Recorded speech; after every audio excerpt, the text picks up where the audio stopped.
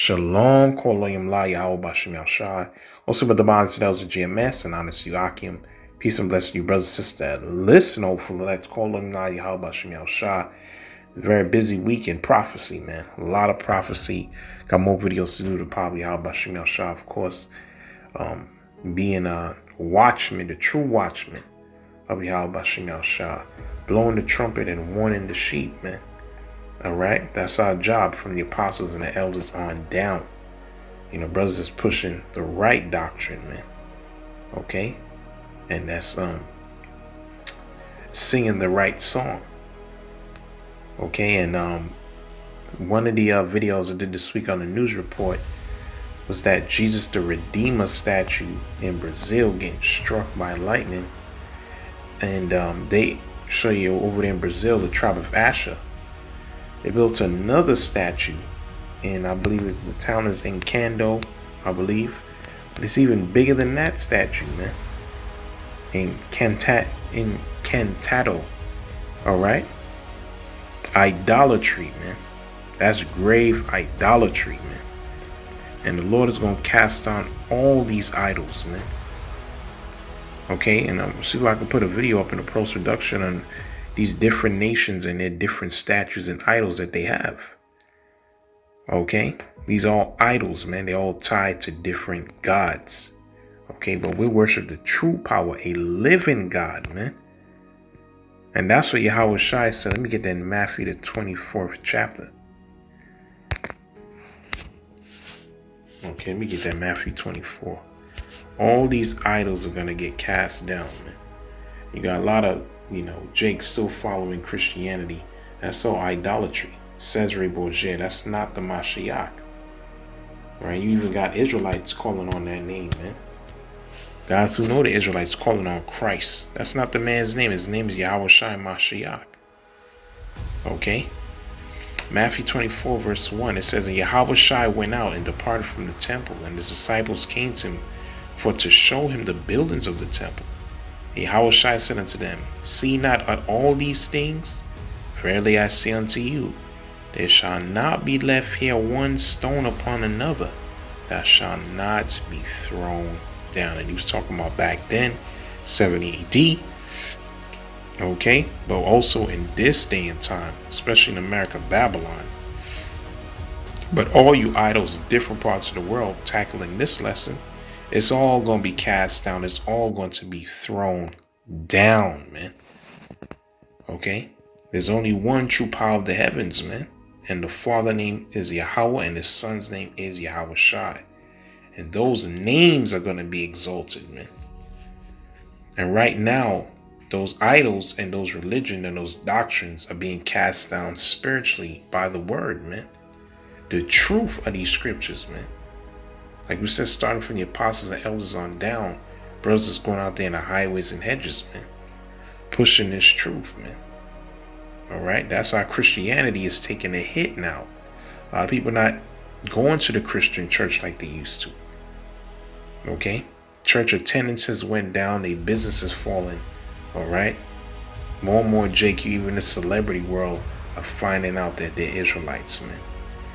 So yes, physically, like we're going to this lesson, all going to be cast down, but spiritually, all is already cast down already, man. And you got Israelites waking up in amongst the Northern Kingdom in South America, man. You see, South and Central America, right, and, and wherever our people are scattered at, all these religions, and you the Kaaba in there as well, man. That bullshit, that stone, is going to be destroyed, man. The Muslims worshiping a rock Okay. Now let me get the precept to prove it. Let me get Isaiah the second chapter. All right, let's get Isaiah the second chapter, man. You never know. After the next disaster, that shit may go down, just like in the uh, movie 2012. All right, because that same cloud that appeared over Turkey before the earthquake is the same mysterious cloud that appeared over Argentina. All right. So, um, you know, that that's the tribe of Naphtali. You see? But let me get Isaiah 52, verse 17. And I'm because the northern king is heavy into idolatry, man. But let me read this. So Isaiah 52, verse 17.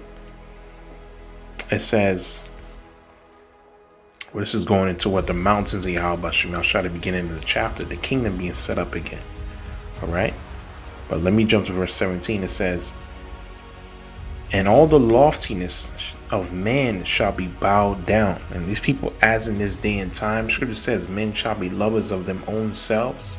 This is an era of vanity, man. Okay? Likes and views and validation. All right? The average person is proud. Scripture says most Book of Sirach, he said, I hate a poor man that's proud, man. People think they the shit.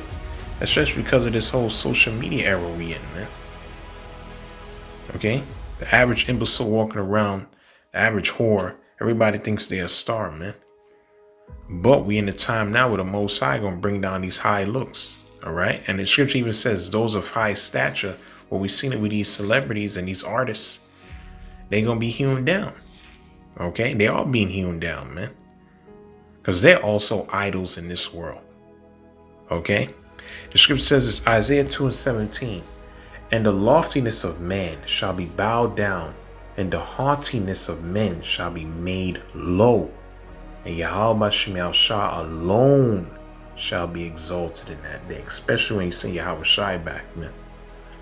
Okay? It says, and the idols he shall utterly abolish. So all these idols these different gods, they're going to be abolished, destroyed, disseminated forever, man. And all these religions and institutions that's tied to it, they're going to be destroyed and their followers. So unless these Israelites repent, they're going to be put down as well. And they shall go into the holes of the rocks with, well, let me read out, and into the caves of the earth for the of Yahweh Shemel and the glory of his majesty when he arises to shake terribly the earth. It also goes to Habakkuk, the third chapter. All right, the rich man we know in Revelation, the sixth chapter, they're going to try to hide themselves, the elite. Okay? The NWO ultimately is going to fail a great re. And in that day, a man shall cast his idols of silver and the idols of gold, which they made each other for himself to worship, to moles and to the bats, and to go into the clefts of the rock and into the tops of the ragpole for the fear of Yahweh and for the glory of his majesty when he arises to shake terribly the earth, man. Okay? People gonna get rid of the idols of gold and their silver. Like we said, these different statues, these these these temples, all right, they all gonna cast be cast down. All right, so it says in Revelation, the first chapter. It says, but every eye shall see him, who Yahweh Shai, man. Okay, he alone is to be exalted in that day, man. Call him Yahweh Shemel Shah, man. Okay, like we say, you know, that foolish statue over there in Brazil, man. That's there's going to be a lot of death amongst you tribes, man. A lot, man.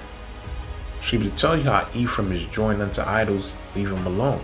You know, because that goes back to the time of Jeroboam but even Solomon, the reason why the, uh, the two kingdoms split, because he was going into idolatry. Okay? Following the why, following the gods of his concubines. When you read First Kings, the 11th chapter, they turned his heart away from serving the Most High, man. You see? And the Most High even warned him in dreams, and he still don't listen. But after that, he rose up Jeroboam, and Jeroboam, the history, as we know, I think you can read that First Kings, the 12th chapter. Uh, he turned the northern kingdom after he had that council with Rehoboam. Um, he turned the people back to what? To follow idolatry. Okay? Because he knew if they followed the God of Israel, they would put his ass to death, man. So he resurrected the two golden calves again. You see? And those are one of the, the telltale signs in, in identifying who the northern kingdom is because they're heavy into idolatry in Cesare Borgia, as we can see down in Brazil. They created another statue that's even bigger than Christ the Redeemer in Rio Janeiro. So they heavy into that, man. Ephraim and the rest of the tribes, the 10 tribes. Okay? This is why Solomon said this. This is wisdom of Solomon. This won't be a long lesson. Just had to report on this to the spirit, man, because um um matter of fact, let me get wisdom of Solomon chapter 15, verse 10.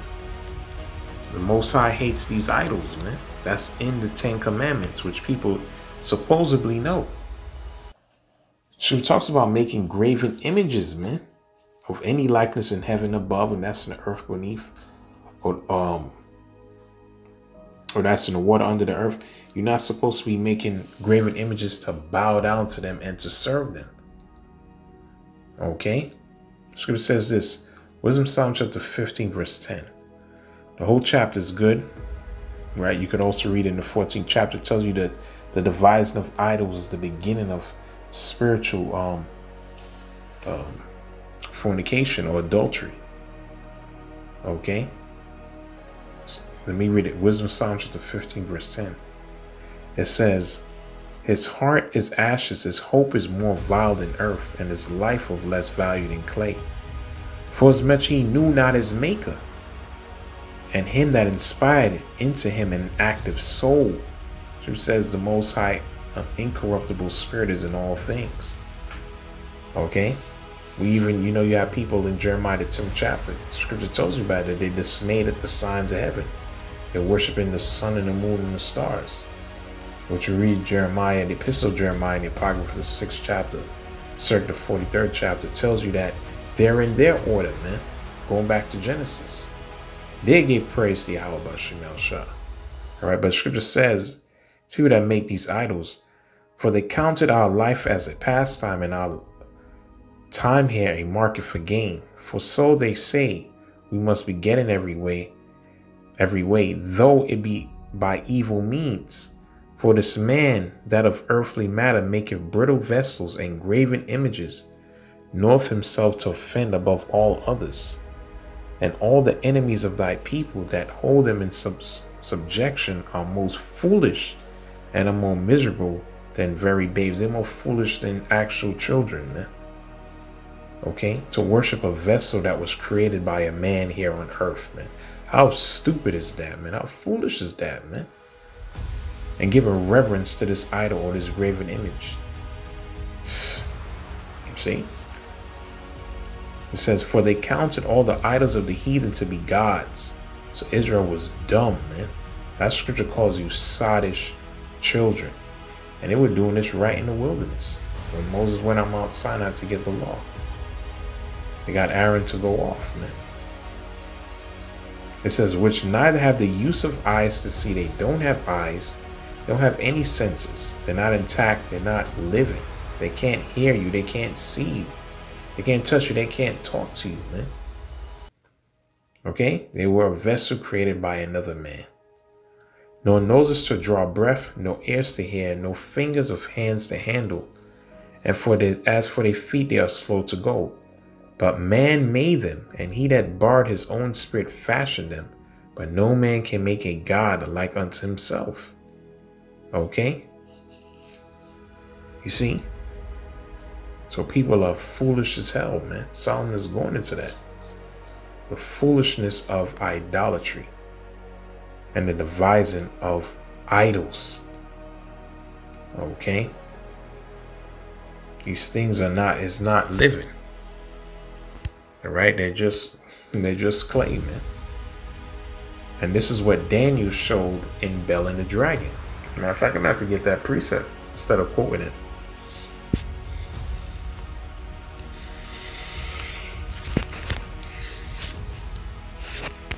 Let's get it. Mm.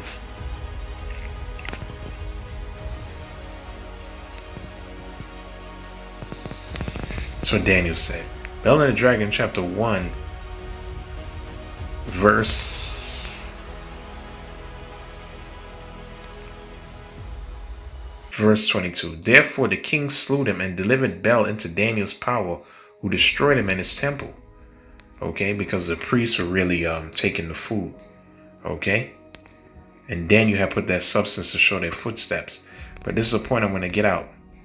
Um, and that same place there was a great dragon which they of Babylon worshiped. And the king said unto Daniel, Wilt thou also say that this is of brass? Let me get that actually. Let's see. Uh, brass. Uh, where we at? Let me see. Uh, in fact, let me just read that verse again. And the king said unto Daniel, Wilt thou also say that this is a brass? Lo, he liveth, he eateth and drinketh. Thou cannot say that he is no living God. Therefore worship him.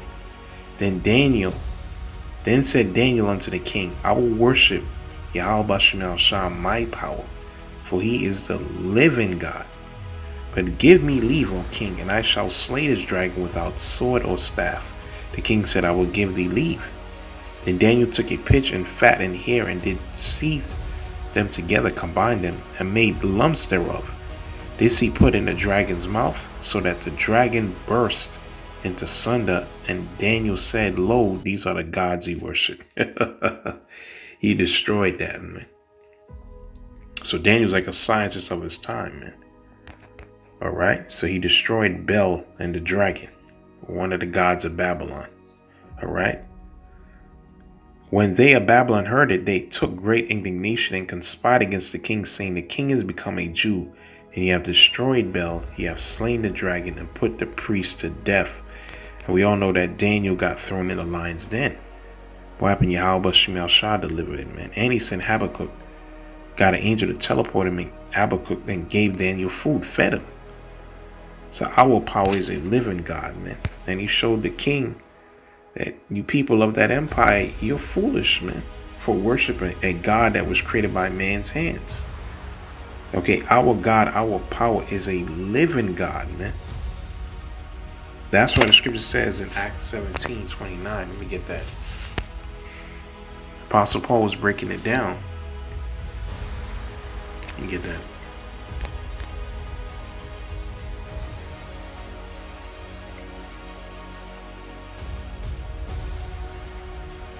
In Acts 17.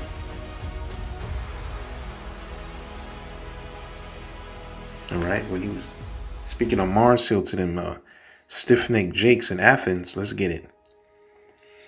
In Acts chapter 17, verse 29, he says, For as much then we are the offspring of the Most High, all right, we're the sons of the power. We ought not to think that the Godhead, okay, the Most High, His Son, the Elohim, the host of heaven, is like unto gold or silver or stone graven by art and man's device, because that's what men did.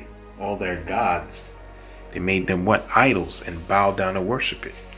Okay, the idols was a, was a medium between them and their that so-called God they worship, man. They just gave him an image. Moses said his, his he's not like unto gold, silver, or stone. His incorruptible spirit is in all things, man. That's what his name is. He is. He's in and he's everything. Okay? You see? So, like the Apostle Paul, and Paul was causing hell. When you go into uh, Diana of Ephesus, he's cursing them Jakes out, man. And one of the, um, uh, Acts 19 chapter, how you call it, uh, one of the silversmiths, I think his name was Demetrius, if I can remember, he was getting pissed off because Apostle Paul was what? Was uh, destroying his business by telling people to turn away from idolatry and to turn away from Diana, man. And he said, yo, this guy is doing this throughout all Asia. Okay? And just like right now, that's why they starting to, uh, the truth is starting to get a little bit more coverage now because it's, it's affecting everywhere. And that's what Yahweh Shai said the kingdom of heaven will be like, man the smallest seed will become the biggest tree. All right, but like uh, we were reading earlier, like Daniel said, and like Josh also said in Joshua the third chapter, that our God is a living God, a living power, man. Okay, back then he was with us in the wilderness, and also during that time of Joshua going to the land of Canaan, we had the actual ark there. His presence was there. Okay, then we actually built a temple. His presence was there, man. That was our connection to the Most High. Okay, now we have his son. Now he dwells in us, man. You see? And the scripture says, man, he's always with us, man. Yahweh Shai said he'd be with us to the ends of the earth. Okay, so like we're saying, man, like like King David said, First Chronicles 16 26. So the Lord ain't with this idolatry shit. Man. Like we said, men in this era um, also um, become idols. these celebrities and these stars, and we see what's happening with them. All right. Most High putting their ass down. Scripture says, First Chronicles 16 26, for all the gods, every last one of them, of the people are idols. Any power outside of Yahweh Shai is an idol, man, a false deity, man, or just a demon. Okay? They're idols, but Yahweh Shai made the heavens. That's his handiwork. And we know him. That's the beautiful thing, man. That's why Tobit said, I'm gonna just close this pre close this lesson. I don't want to do nothing long. Okay. Let's get it. Tobit chapter 14. Verse 10. Verse 6.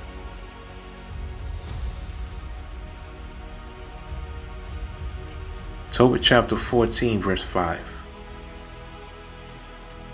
And this for go into Midian, my son. Tobit speaking to son Tobias. For I surely believe those things which the prophet Jonas, the prophet, spake of Nineveh, that it shall be overthrown, and at time of peace shall rather be in Midian, which is Iran, that our scattered brethren shall lie scattered in the earth from that good land, and Jerusalem shall be desolate, which we know started with the northern kingdom and then later on the southern kingdom and the house of the Most High, and it shall be burned, and it shall be desolate for a time. Right? But you know, the temple was restored the second time, but then it got destroyed the final time in 70 AD. Right? And that the most, and then again, the Most High will have mercy on them and bring them again into the land where they shall build a temple, but not like the first, until the time of that age be fulfilled, and afterward they shall return from all places there that captivity which we're coming we're in that time right now. Okay so we had the first temple destroyed. It was rebuilt again. It didn't have the glory like the first but that temple was destroyed but this time we're returning again where Yahweh Shai is going to bring us back into that land all right and build up Jerusalem gloriously he tells you that in Tobit the 13th chapter and the house of the Most High shall be built in it forever with a glorious building, as the prophets have spoken thereof, man. Right, which we know the third temple is spiritual, man. The New Jerusalem, right, which is the 144. And we're let's read on. And all nations shall turn and fear Yahweh Bashem Shai truly and shall bury their idols, men. All nations, men. Okay, our people that scattered and it is going to trickle down to the other nations, the actual heathen, men. They have to learn. That's what Isaiah the second chapter was going into. Okay, they're going to have to go up to Jerusalem to learn from us how to serve and reverence Yahweh Bashim Shah. So all nations shall praise Yahweh Bashim Shah, and his people shall confess the Most High. And the Lord shall exalt his people and all those which love the Lord power in truth and justice and shall rejoice, show mercy to our brethren. Call him Bashim al Shah. It's the time we coming into, man. Okay? Yahweh Bashim al Shah, like the lesson was going into, he's gonna be exalted, man. And all these other idols and these false gods and these deities and these different religions, they're going to be cast down. Like Jeremiah said. We close it out with this actually. Jeremiah 10, verse 10.